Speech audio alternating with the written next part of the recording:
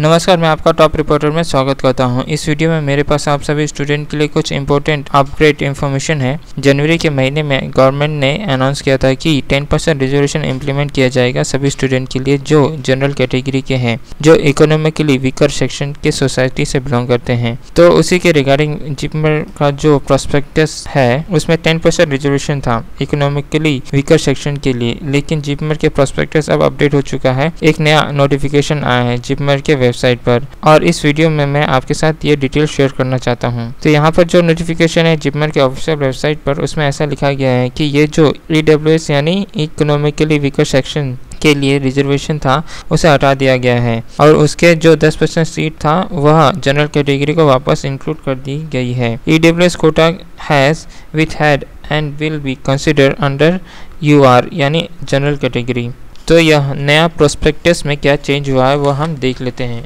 अगर आप खुद चेक करना चाहते हैं तो आपको चिपमर के वेबसाइट पर भी मिल जाएगा। जनरल कैटेगरी के लिए 55 सीट्स पुडुचेरी में और 19 सीट्स कराईकेला के कैंपस में है।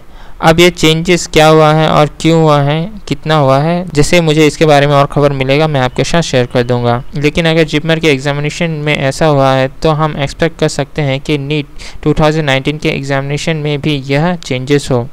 और ये जो 10 परसेंट रिजर्वेशन है नीट एग्जामिनेशन में जनरल कैटेगरी के स्टूडेंट के लिए उनके ही 50 परसेंट कोटा में से दिया जाएगा। तो ये वीडियो हम यही समाप्त करते हैं। अगर यह वीडियो आपको अच्छा लगा हो और ऐसी वीडियो देखना चाहते हैं तो नीचे जो लाइक का बटन है, जो सब्सक्राइब का बटन है, उन्हें दबाना मत भूलिए। धन्यवाद।